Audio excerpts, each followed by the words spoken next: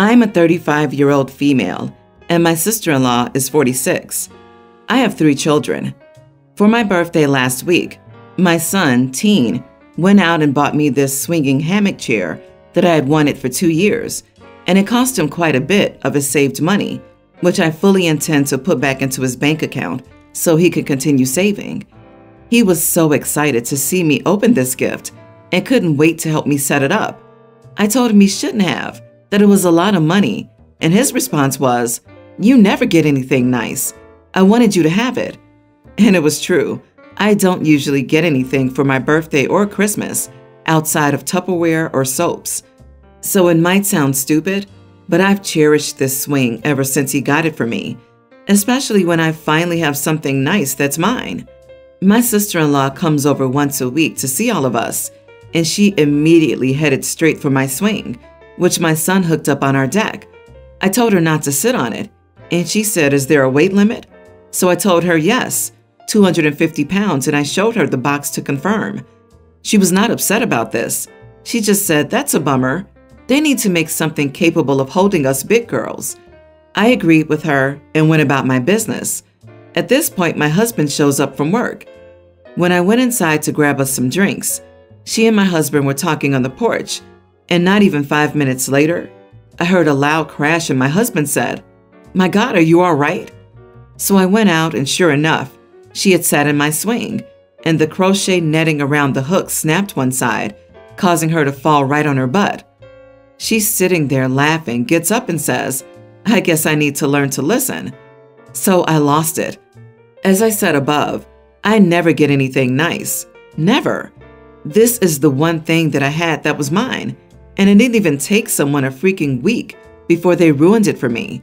So I just said, I told you not even 20 minutes ago that it would not hold you and to please not sit in it. She makes some comment. Usually the weight limit is a lie. I thought it would hold. So I said, the weight limit probably would have held if you were only like 50 pounds heavier than it not 150. She is 420 ish pounds because she's one of those girls who eats food on camera for the money, and she absolutely loves her weight. But regardless, instead of apologizing or offering to compensate me for my destroyed item, she's resorted to saying I'm an idiot for making her feel like her weight is a problem and my husband's on her side. It's just a stupid swing. Am I the idiot? Not the idiot.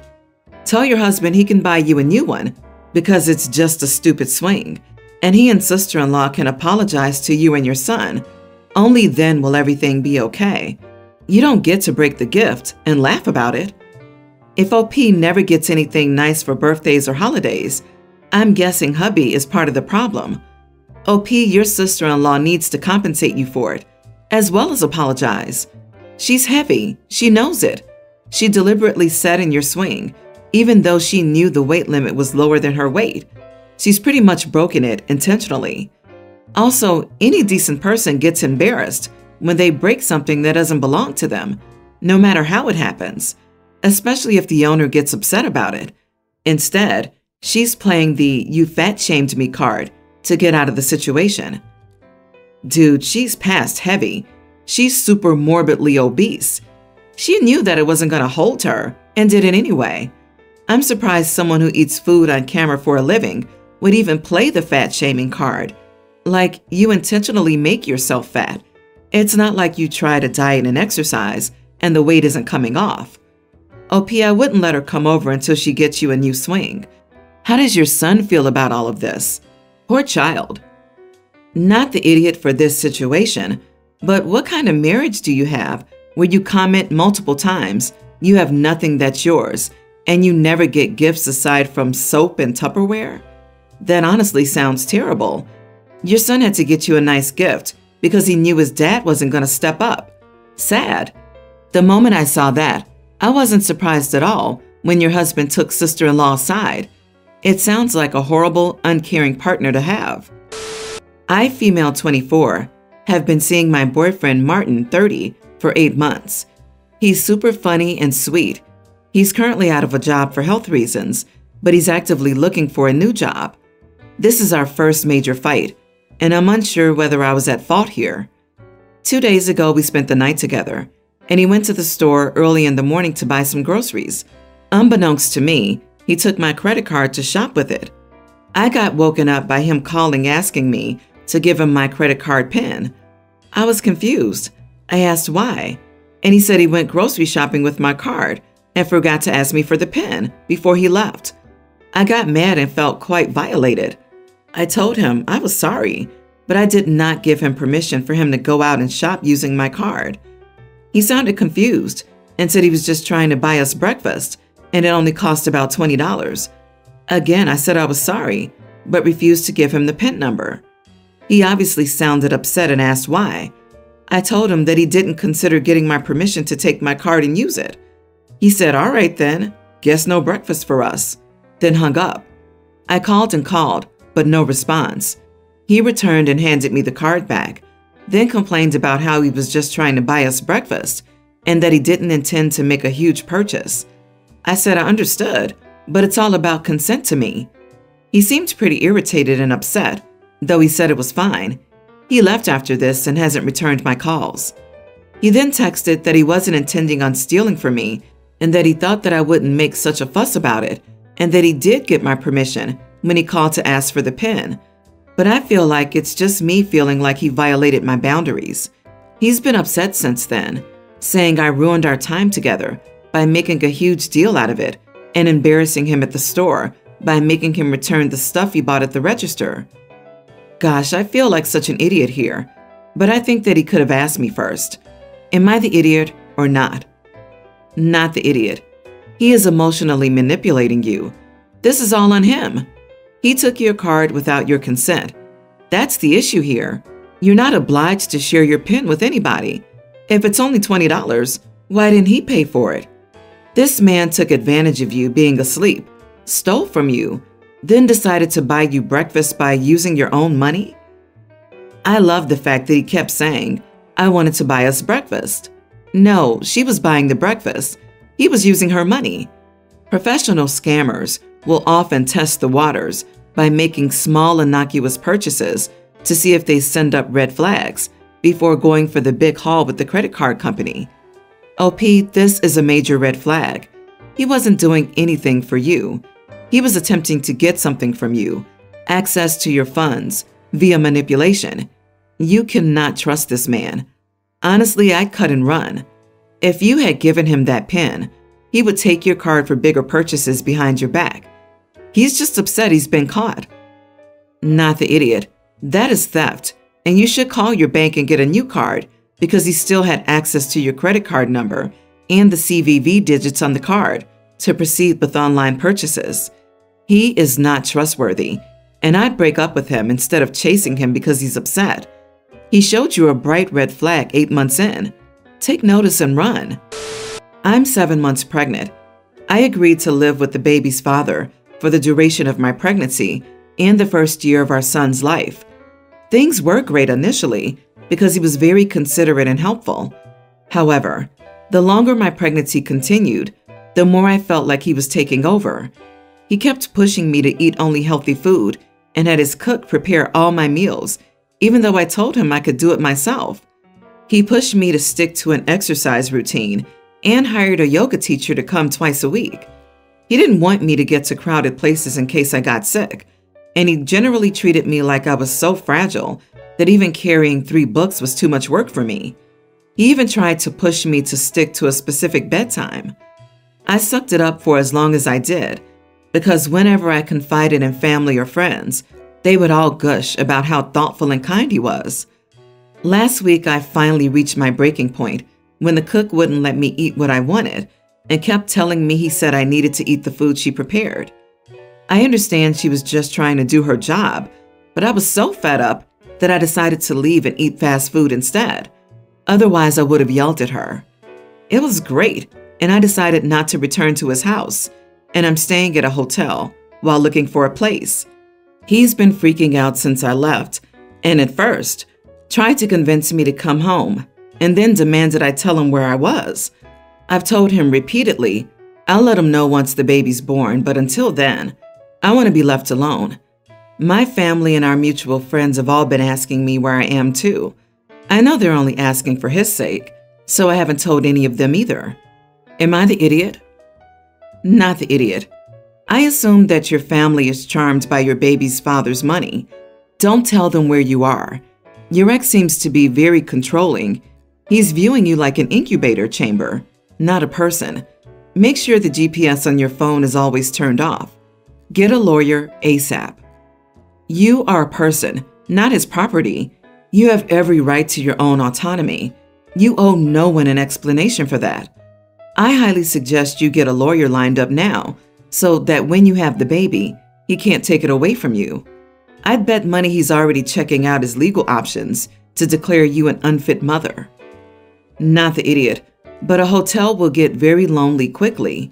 While you're looking for a place, I also suggest going to prenatal classes and parenting classes, anywhere you might be able to expand your circle and get more support. Sounds like you don't or can't trust the people who are supposed to be your emotional support. So don't neglect that when making a move.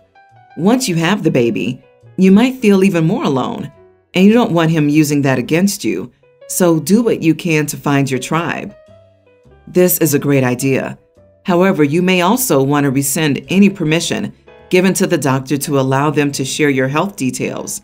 Ex nor family should have access to your medical records especially concerning your baby. I have two daughters, Nadine, 25, and Haley, 27. Their father and I raised them as Muslim in the U.S. Their father and I have a happy marriage, though it was arranged. It was implied as they grew up that they would have arranged marriages, though we never said outright they would be forced to marry anyone they didn't want. And if they found a man on their own, we would have given our blessing, provided he was a good person.